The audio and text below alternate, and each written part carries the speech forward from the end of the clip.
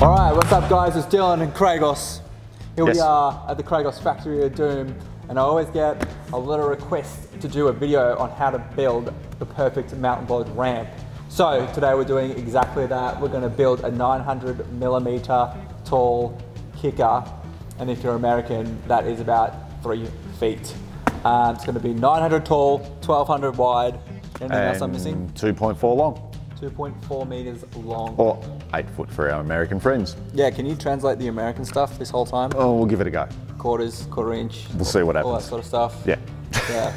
If you have any questions, and we, we're just going to go over this and make it as simple as possible, but if you do have any questions, let us know in the comments below, and either Craig or I will respond, and um, we'll uh, Do we'll our best. We'll do our best. We always do our best. We are Always. the best. So, step one is you need to go to the hardware store and you need to buy two sheets of 7 mil uh, thick plywoods, 2.4 by 1200.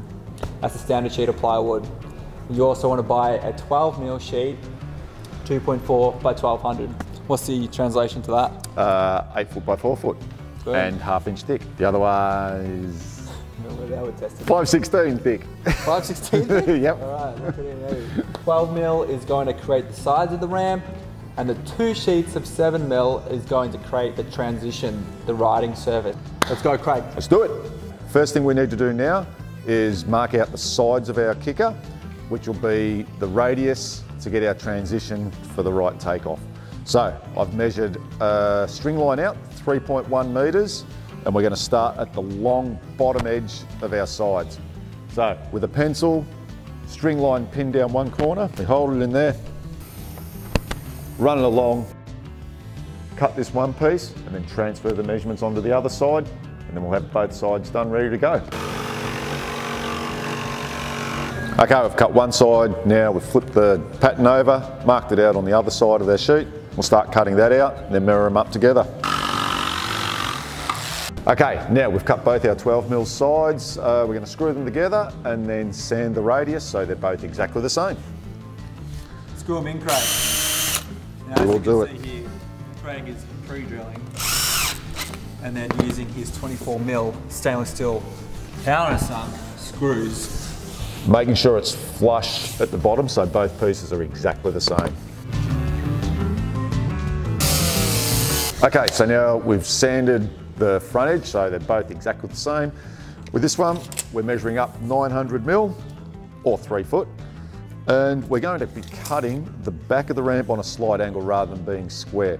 So that way when you hit the ramp, there's less chance of it ticking, kicking up a little bit at the back. So that's going to be the bit of the angle that we're going to work on there. Now we'll just go and cut it. Now, we do have a big panel saw here, but we're just going to use the jigsaw because that's what everyone else should have when making a, um, a kicker. Give that a quick sand again so you don't get any splinters and we'll move on to the next bit. Okay, so now we're going to mark out our ribs for joining the sides together and giving us extra support when we roll our 7mm plywood. We're going to try 300mm centres and then we'll see how that goes. If we need more later on, we can still put them in. Starting at the top, mark down 300mm, the pencil. Now transfer those marks onto the second piece as well. So that way we know they're going to be in exactly the same spot side to side. Okay, now our sides are cut. We've marked out our ribs. Uh, we're going to be using 40 by 19 pine to actually space them and join them together. Let's go to the saw and cut them out. We have a panel saw to do our cutting, but not everyone has one of these, so you can use a drop saw, you can use a hand saw or your jigsaw still. We're using the 19 by 40 pine to try and keep it as light as possible, but if you want to make a little bit more hardcore, you can use studs, which is 40 by 90 and that'll make it last a lot longer and also be a lot stronger. We're about to cut the ribs to join the two sides of the ramps together. Now, one thing that I see a lot, when people cut the ribs for their ramps, they actually cut it the same width of the plywood that's going to be the surface to ride on. So what they'll do is make it 1200, but the problem is when you put the sheet on, that actually it won't be wide enough. So what we need to do is actually take into consideration the 12 mil pieces on the side of the ramp and deduct it from our measurement. So what would the measurement be, Craig? Uh, we've got 24 mil thickness overall, so we have to deduct that from our 1200 wide sheet of 7 mil. Uh, so we're left with 1176 mil. So that's going to be our size or our length that we're going to be cutting our 40 by 19. That was some great quick math. Thanks, mate. All right, cut away, please. All right, you can see behind me two really sick cars. Craig has built both the panel van and what is this weird creation? Uh, it's a CA Bedford, 1961 English van, which will be a camper van if I ever get a chance to finish it. So now we're moving on to the ribs. What are we going to start with first, Craig? Okay, first we want to unscrew both the side panels apart from each other. We've already transferred the marks for the ribs onto both pieces so we know they're going to be exactly the same. We'll hold them up, pre-drill with a 1/8 drill bit and then we're using 45mm chipboard screws with a PVA glue to screw them all together. Uh, 1/8 drill bit would be 3mm or a number 30 and this is easier with two people as well so I'll get Dylan to pass first rib over. The timber flush with the top of the ply. Using a bit of uh, PVA glue. And chipboard screw. So normally when putting the ribs on, to put them vertically, but for this bottom one, because it's um, quite narrow down here, we're doing it on the side. Okay, with the top one, we are going to lay it flat on its edge as well, but then we're also going to be putting another one underneath that on its edge.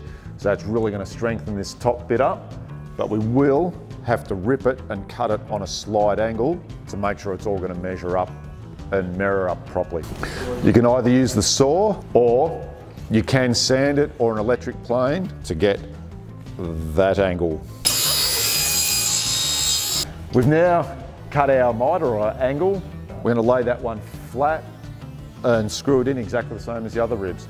And then there'll be a second one that we've also cut on the same angle, which will be going underneath to create an L shape or an over L shape, which will give it a lot of strength off the top of this kicker.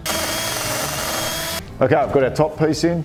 Now our other front piece, which will just drop underneath there from the ends and then we're going to screw down through the top just to really strengthen this top piece up. Not forgetting glue on the top edge as well.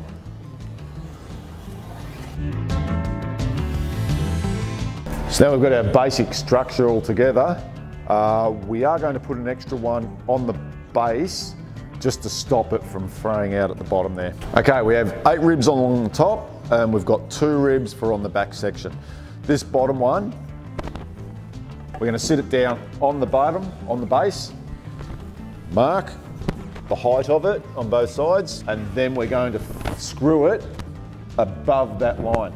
That reasoning, if we're on any uneven ground and there's a hump here, our ramp should sit fairly level on the ground. Now, we're going to use liquid nails for this bit, so we're going to put liquid nails up both side pieces and across all top sections of the rails. And then we're going to be laying a 7 mil piece on top of that, starting flush with the bottom of the transition. That's very important. So we want to be flush down one side and flush with either side at the front. If that's out, the whole thing's going to be twisted and it'll never ever sit level. So that's very, very important. Now we're going to be stapling the first piece down. If you've got a compressor and a staple gun or nail gun, is a lot easier. You can use screws, just use small ones and a few for the first lot. Then when we glue the second sheet on, that's when you can put more screws in, space them out evenly, and that'll hold the whole thing down and give it a lot more strength. Yep. We were on, bro.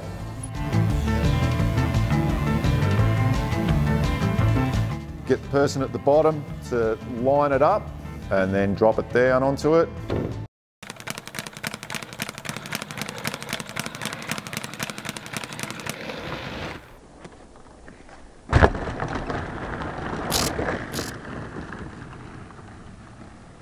You flush with the side and down there.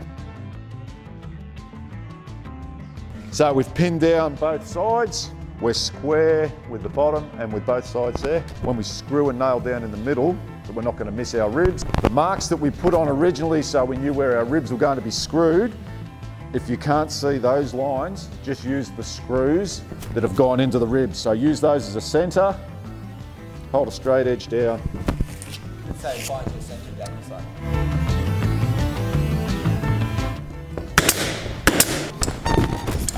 Reason why we're hanging it over 20 mil past the last sheet we had is so that it meets the ground nice and flush, okay?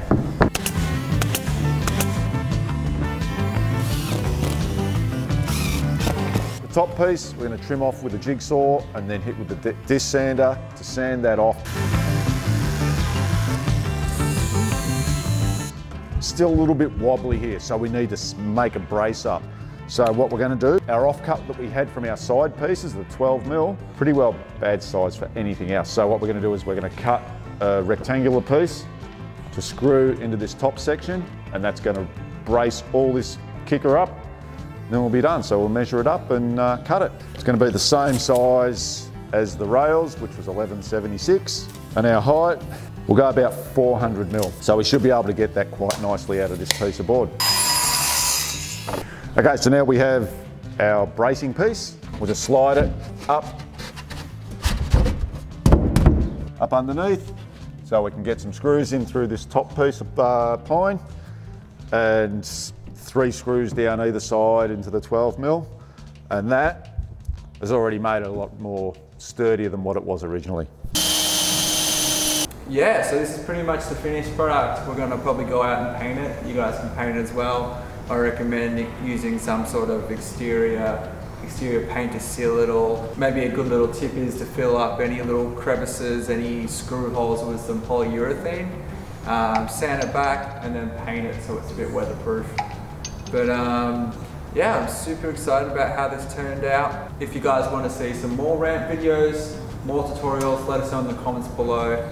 We're getting ready for an event here in Australia in uh, November. We're heading up to Sydney doing a bit of a road trip. We're actually rebuilding this new trailer we have with a full new ramp system um, to take up there. So make sure you keep an eye out for those videos. It's going to be pretty cool. It's all going to be a big um, big Lego set that all come together to create a skate park. So I'm really excited to, for that. We're actually going to build a landing for this as well. So um, if you want to do a little bit more of an intermediate uh, tutorial, we're going to do a fully collapsible flat pack, fat, flat, Flat pack. flat pack. That's the word.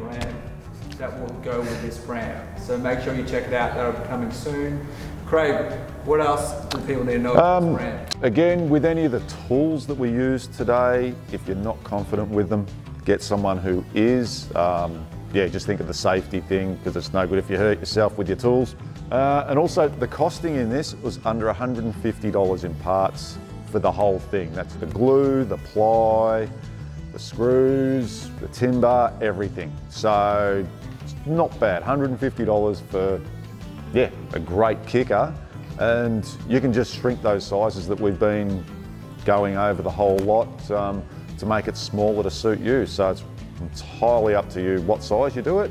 Make sure you subscribe to this YouTube channel if you want to see more videos like this and keep up to date with us on Instagram at Radical Face for our big trip to Sydney in November. Yes. It's going to be very fun. We do this So look forward to those ones. every year. This is our fifth year, so uh, exciting times ahead. All right, guys, that's it for now. See you guys on the hill. Next time. Bro.